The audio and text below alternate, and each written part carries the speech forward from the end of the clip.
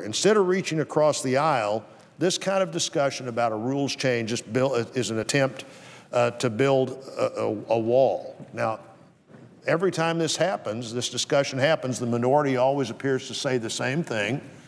Uh, Senator Reid, the majority leader, said in 2006 to run the Senate, quote, said, quote, to run the Senate with respect for rules for the minority rights uh, has to be, and for the minority rights to be protected if he became the leader. He said, quote, the Senate was established to make sure that minorities are protected, and I'm going to do everything I can to preserve the traditions and rules of this institution that I love, end quote. Then Senator Obama said if the majority chooses to end the filibuster, then the fighting and bitterness and the gridlock will only get worse. Senator Schumer said the same year, 2005, that breaking the rules would, quote, change the whole balance of power and checks and balances in this great Senate and great country. And Senator Durbin warned in 2005 that what was then called the nuclear option would really destroy our system of checks and balances. Now, everyone would rush to say, well, the Republicans talked about doing this then. That's why these people were making these comments. But, Madam President, the point is the Republicans didn't do it.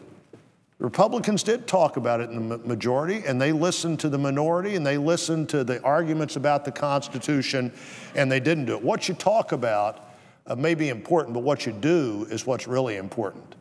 Uh, and hopefully, uh, Democrats will look at this again and decide they don't want to do it. The Senate rules say it takes 67 senators to change the rules.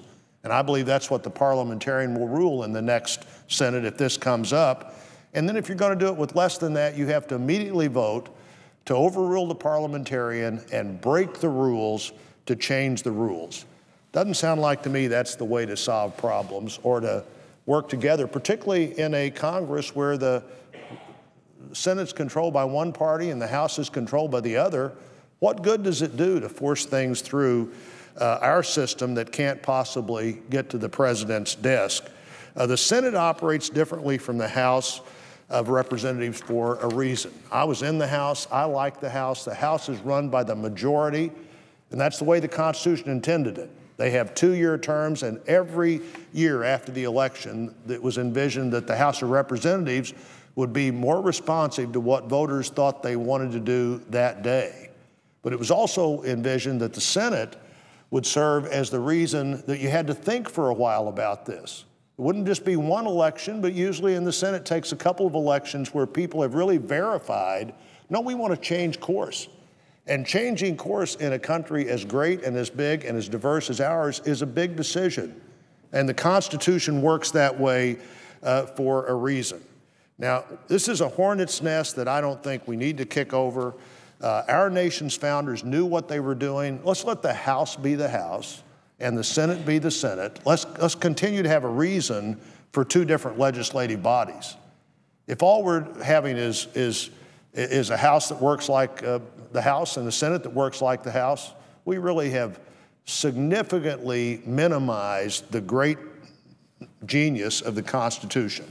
Allowing the minority party to exercise its rights to debate and amend legislation should be the rule, not the exception.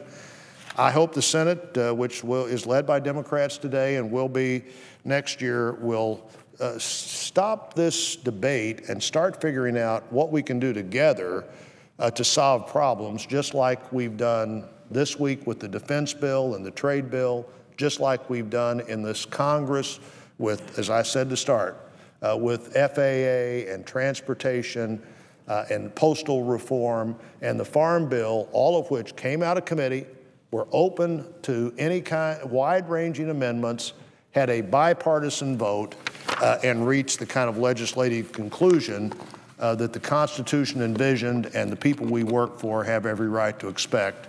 Uh, and uh, I will finish by noting, uh, Madam President, the absence of a quorum.